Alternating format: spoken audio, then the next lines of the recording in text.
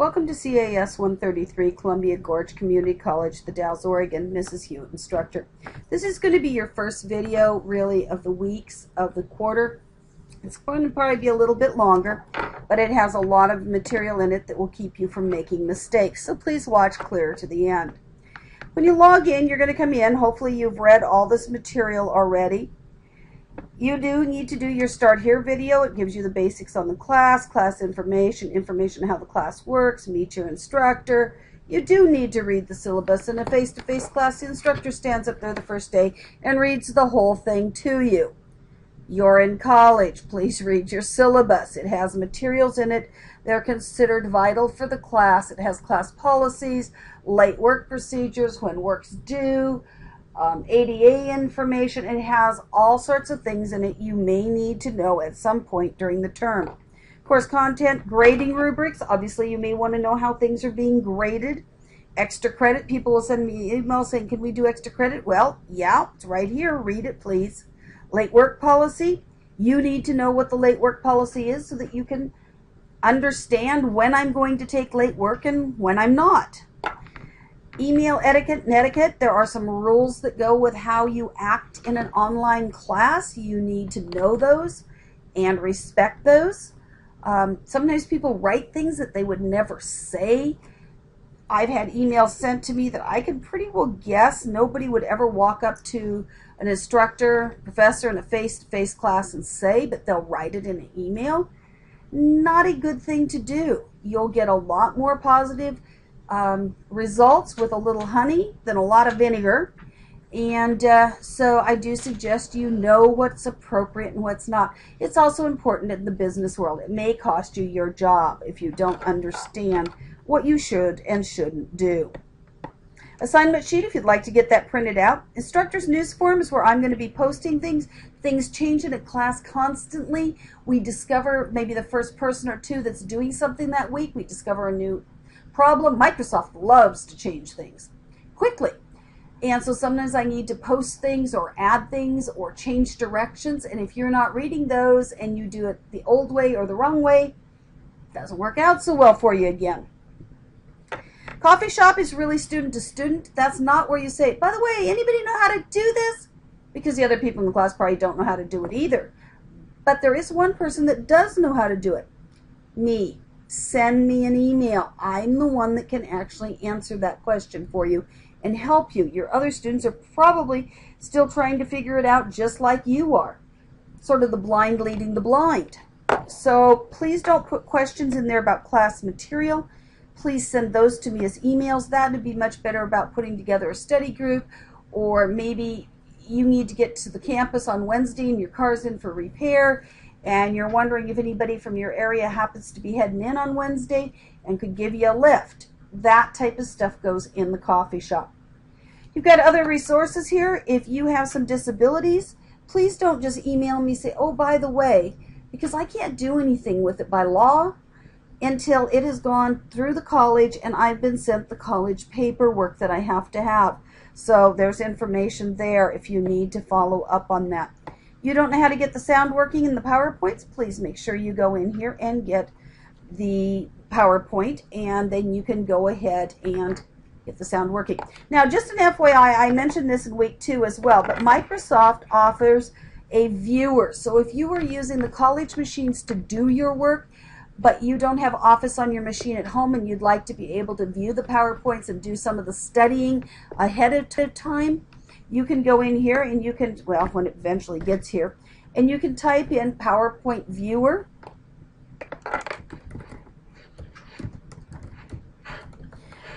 Of course, if you can spell it, it'll work better. And it'll give you a number of different choices of types of PowerPoint viewers, and you can download one of them. Now, what I will tell you is Office Word 07, PowerPoint 07, 2010, 213, 365 all use the same file format, a DOCX. So if you have any of those versions of PowerPoint on your computer or Word on your machine, you can view my materials. You may not be able to do your projects, but you can view my materials. But if you don't have anything, then you're going to need to go download this viewer, and it'll let you look at a PowerPoint even though you cannot actually access it as far as um, creating one or making one with it or changing it or anything. So that is one thing you have if you don't have it on your machine and you want to be able to view my materials. You should already get this done and if you've not done so, you need to read this. You need to take this test. When you take this test, you need to put in your email address and my email address. There is a pre-test and a post-test. You may only take each one once. So you want to make sure you get your address and my address in there correctly. Then it will be emailed to me. If for some reason I don't get the email, then you can resend a copy of yours. You can forward it. I will post your grades right there so you'll be able to see if or I've gotten it or not. If it's not there, I don't have it. At least when I've said I've graded, I will grade as kind of go the first week or so usually. Then you need to watch the video on cheating and take this little short six question test. Post an introduction to yourself and reply to someone else's. Now we're into week one, which is really our focus. This week we're basically studying Windows and what comes with Windows. So we're going to be using some Windows materials. You'll notice there are a number of support materials up here. These materials are designed to help you if you're having problems like I've never zipped a folder. I don't know anything about it. What are you talking about? There you go. There's a resource. I can't get the sound working. There's a resource. I'm not sure how to upload a file to Moodle. This is my first online class. Well, there's a, a file on how to do that. So these are support materials. Not all of you will use all of them, but they are support there. Rather than emailing me for questions, go check the support materials first. Then you may be still emailing me, but at least look at that first. Then over here, you'll notice I have it in red. These are required. You need to go through these materials. So you're going to go through the directions. You're going to watch that video. You're going to watch it all the way through. That's this video. You're going to go clear to the end of it, even if it takes a while. Figure if you were sitting in class for two and a half hours of lecture, this is not a two and a half hour video. Then you're going to open this structural material and you're going to do the computer basics for everybody. And then you're going to look at which computer you own. Like, oh, I'm still using an XP or Vista machine. Then you're going to do WordPad for XP and Vista, and you're going to do Paint for XP and Vista. Let me tell you, Office 2013 will not install on anything older than Windows 7. So if you're planning to use a Vista or XP machine for this class, you will only be able to do the learning, instructional, you know, pre-work type of work with it. You'll have to go find a machine that's a Windows 7 or Windows 8 machine that has Office 2013 on it to do the actual assignments after the second week. First week, second week, you're okay. Third week, not so much so. Maybe you have a Windows 7 machine, so you're going to do Computer Basics, Windows 7, Windows 7, and then here's an extra one for Windows 7 people so you can view a little bit of information about some of the cool tools in Windows 7. You're going, but, but there's no Windows 8, but, and right here is the Windows 8 material. So you will come out here and you will view the Windows 8 material. Now, if you don't own a Windows 8 machine, you don't need to view the Windows 8 machine unless your materials, unless you're curious. Then you're welcome to. You can always look at everything. The unit goals are hanging out down here. They actually probably should be up here. I'll get those moved. This is a summary overview. This is like going to the back of the book and kind of seeing what's coming up, what's going on. It's not the whole book. It's not step by step. And you probably could not read the back of the book and then go take a comprehensive test on the story and answer the questions correctly. This is the back of the book. This is just a summary overview type of area. Just sort of kind of make sure you got everything sort of up to speed. Do not use it for your directions. Your directions are up here. This is an overview. And then your performance test questions. And those are going to be your directions for completing the assignment. So let's walk through each assignment a little bit. You're going to be doing a WordPad, so you're going to go down to your start you're going to go to all programs, maybe. You're going to go to assess accessories. And there's two programs here. One is Notepad. It's kind of a wimpy little program. It doesn't have much to it, as you can see. Do not use Notepad. The other one you want is actually called WordPad. And you want to open WordPad. Now, some of you are going to want to go use Microsoft Word because that's what you bought. That's what the class is. And that's not this assignment. This assignment is using a Windows tool called WordPad. You can see it has a lot more than Notepad. You're going to type your assignment. There's some directions in there with the exact questions you're supposed to be answering. So you're going to write your answers here.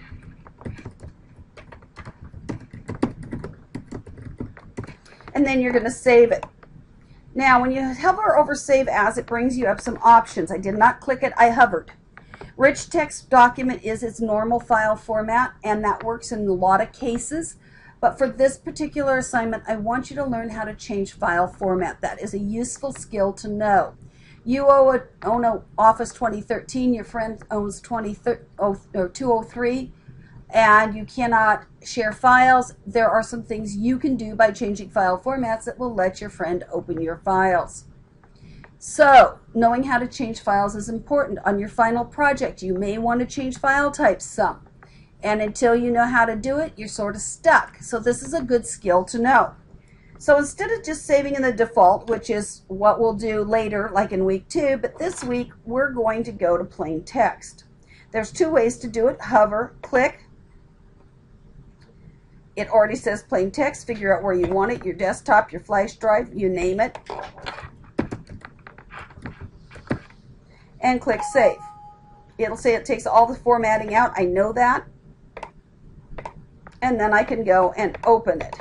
Now, it will open in Notepad probably on your machine simply because it's how the default is set. Mine has changed. My TXT files, which are the plain text format, will open in WordPad. The other option you have, oops, I guess I should have just had WordPad open, is when you go to save you go File, and you click on this instead of hover. It brings this up right away. You pick your desktop or wherever you want it to go. And this time, you have to do the drop-down box here because you haven't told it what you want. And you're going to put it, it'll come up like this, and you'll put it in the TXT or text document format. And you'll do the save. And there you go. If you do not follow that step to save it as a TXT plain text document, you will get 50% because you've missed one of the important learning skills of doing the project. One piece of it is learning that WordPad's there. So if you're on a machine that doesn't have Office, doesn't have Open Office, um, for whatever reason you can't use Google Docs, you need to write a, there you go. You've got a tool that will work. Half of the assignment. Other half of the assignment is learning how to save in a different file format. Same for paint. You're going to come in here, you're going to do the same type of thing, except this time you're going to find the paint program. It's still in accessories. You're going to open up paint. You're going to draw your picture.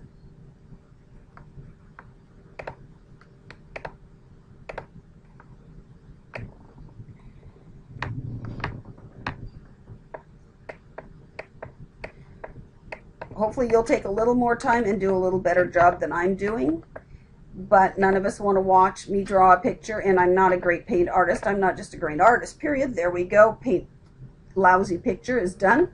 Yours will be better. I've seen some gorgeous ones, by the way. Again, you have the same options here. If you hover, you get the list. A PNG file is the default, um, and especially on the newer versions like Windows 7, Windows 8. Unfortunately, not a lot of machines can open PNGs if they're not Windows 7 or Windows 8. Macs can't open them. Older machines can't open them not a great file format ever to use. So you want to save as a JPEG. That's like a camera file format. And again, you can either click here and change it here.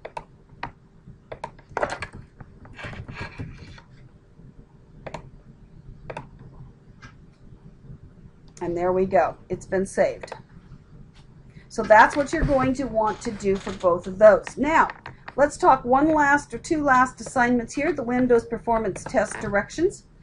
These are directions for making file folders. The idea is you're going to save your work in an organized manner so you can find it again.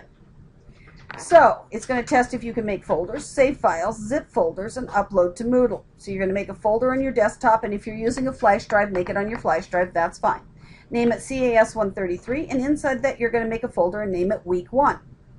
Then below that folder, you're going to make week two, week three, week four, week five, week six, week seven, week eight, week nine, week 10, week 11, or finals week for most terms except for fall. Fall, you're going to also have to make a week 11 with week 12 being finals week. There are, for whatever reason, there's one extra week in fall term. Do not make these folders inside week one, make these folders below week one. So I open it up and I see a list. Then put your WordPad in it, either save it directly in there or copy it in there. Same here, or move it in there. Then once you've made it, you're going to zip it. You're going to right click it, you're going to do a zip. It'll say send to or compressed. And basically the difference in the look between a zipped and a not zipped file is I have this folder, it's called May Training. That's a regular file. I can open it up, I can edit it, I can change documents, I can put documents in, I can take documents out. But once I right click, I go send to, compressed, it'll zip it. The zip folder will show up here with a zipper on it. And that folder I can upload together as all as one unit, but I cannot edit it, I cannot change it, I cannot add to it, I cannot edit the files in it. Once I've uploaded it to Moodle, basically it's trash. This becomes your working folder. Now if you make a boo-boo and you have to correct it, you want to correct it with this folder, and then you will make a zipped again. And that's basically what these steps say here. And then you're going to use that regular folder to continue to save your work on. So that is the Windows Performance Test. The last thing you have right here is your disaster recovery form. And when you do a form, you do your original post. And when you go to do that, then you also make sure that you do a 100 word reply or more and you do a 50 word reply or more to another student. You click add a new discussion topic and you add your topic. Now, if you're not sure, if you type in Word,